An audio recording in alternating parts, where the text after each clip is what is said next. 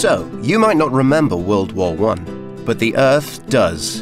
A century of battles and military tests has left us with land permanently contaminated with water supply poisoning toxins.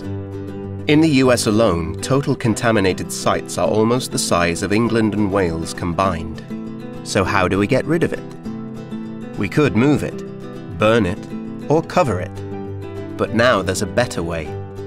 This scientist made a plant that could solve the problem. How does it work? This bacteria destroys toxins, and this plant's roots can suck up toxins through the soil.